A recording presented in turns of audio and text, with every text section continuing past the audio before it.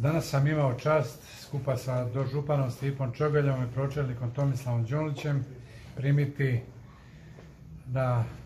redovni, uobičajeni prijem društvo VAD iz Sinja na čelu sa predsjednikom VADA, dr. Stipom Jukićem, Vojvodom, Alaj Čaušom, zamjenikom predsjednika, Arambašom, s njima u pratnji je bio dogradonačelnik Bobeta, s njima u pratnji je bio i gvardijan Sinskog samostana Frante Čovo i izmijenili smo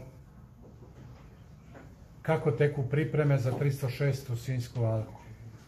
Naravno, nisam propustio priliku zahvaliti im za sve ono što rade na kulturnoj, sportskoj, tradicijskoj baštini i Sinjskog kraja i Splitsko-Dalmatinske županije, ali slobodan sam reći i cijele Hrvatske. Uistinu su postali brend Hrvatske u svijetu i u Europi. Žao mi je što zbog pandemije lani to svoje taj svoj brend nisu mogli predstaviti u Parizu, u Versaju, ali evo, kako nas je predsjednik izvijestio, to će se dogoditi iduće godine ukoliko ova pandemija stane. Također nas je predsjednik i VAD izvijestili su nas o tome na koji način će se ove godine provesti mjere covid prilikom samih alkarskih svečanosti, je za nas koji dolazimo sa strane dominantna je alka, ta nedjelja. Ali Sinjani i Cetinski kraj žive i za baru i za čoju. I svi ti dani su njima jednako važni. Moram reći da su njima važni i svi oni dani kroz godinu. I na tome i županija, i grad Sinj, ali resorna ministarstva na čelu s Ladom moramo raditi, kako nas je Vojvoda izvijestio i oko dodatnih aktivnosti na hipodromu i oko konja, kako bi uistinu oni bezbrižno dočekali dane alke i pripreme za alku. Na tome nam je svima dodatno poboljšati i dodatno raditi sve aktivnosti koje treba. Splitsko-dalmatinska županija kao jedna od najprepoznatljivih brendova na svom području Alku maksimalno podržava. Naravno, uvijek, s obzirom da jesu dominantni ne samo u nas nego i u Hrvatskoj, je potrebno i više, ali evo, pokušat ćemo iznaći dodatna sredstva. Zajednički smo radili na projektu Sinj u sridu, mi naš dio smo doveli do kraja kroz muzej Cetinske krajine. Nadam se da će isto tako se dovesti do kraja i ovaj dio oko zatvorenog trkališta na hipodremu i da će sa svih drugih aktivnosti, odnosno dvorane, i da sve druge aktivnosti vrlo brzo doći do samog kraja. Samo sinergijom grada Sinja, Viteško alkarskog društva, Splitsko-dalmatinske županije i vlade Republike Hrvatske možemo uistinu dovesti do kraja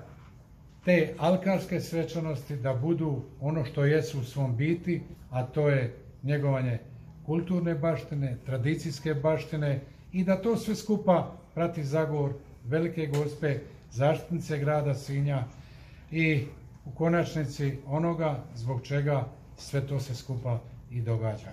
Zato im hvala još jednom od srca na svemu što rade, a mi ćemo i dalje kako kroz ovu, tako i kroz niz drugih projekata biti potpora i Vadu i Cetinskog kraja. Dakle, to je e, priča koja već traje par godina, dakle, obzirom na klimatološke uvjete, dakle, veliku vrućinu u terminu održavanja Sinjske alke, mi smo već par godina u razmišljanju da pomaknemo taj termin i naravno to moramo u dogovoru sa gradom, e, obzirom da je to gradska ulica koja zahtjeva određene promjene, moramo, moramo skupa donijeti neku odluku da to pomaknemo. Što se tiče e, ulaska na samo alkarsko trkalište, ja sam već napomenuo da se nadam da će ove godine biti alkarsko trkalište ispunjeno do zadnjega mjesta, ali naravno da bi neko ušao na alkarsko trkalište on mora zadovoljiti određene preduvjete, a to su ili da je cijepljen, da, je, dakle, da ima COVID putovnicu, ili da je u zadnjih šest mjeseci prebolio infekciju, ili da je, ima negativan PCR test 72 sata prije alkarskih natjecanja. Ja se nadam da će ta odgovornost naših ljudi biti takva da će oni ispunjavati jedan od ova tri uvjeta i da će alkarsko trkalište biti ispunjeno do kraja. Evo, prošli tjedan su se cijepili alkari, vi između ostalih ste zadovoljni Da, odazivom? odaziv je bio dobar, e, s tim da jedan dobar dio alkara i alkarskih momaka članova uprave je već bio cijepljen, tako da mislim da će cijela ova ekipa koja sudjeluje u alkarskim svečanostima biti procijepljena i nesmetano ćemo moći održati alkarske svečanosti.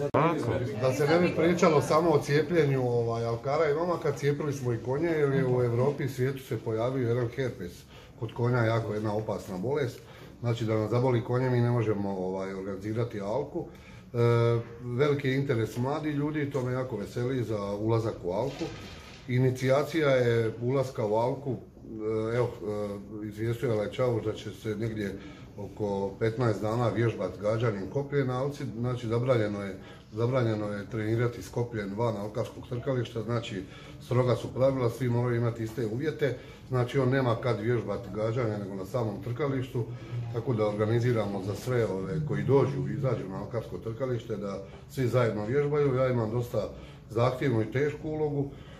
jako teško se ulazi u alku, ali isto tako jako teško se izlazi iz alke, tako da ja protežiram mlade, zato mi je jako važno jahanje, vještina jahanja, jer mi odvijamo alku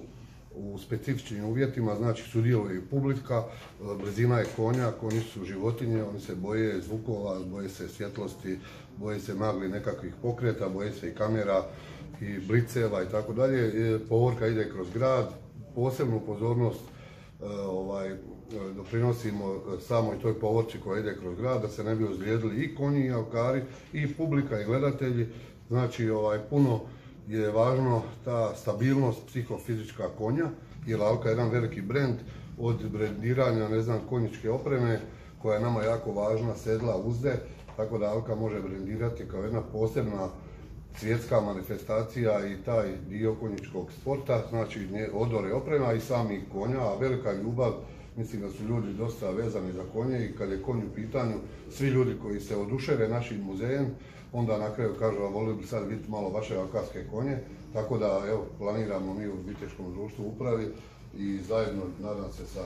gradom Sinjom da će se naći zajedničko rješenje da napravimo jednu velebnu konjušnicu koja će biti na diku i ponos i Alci i Cetinskom kraju.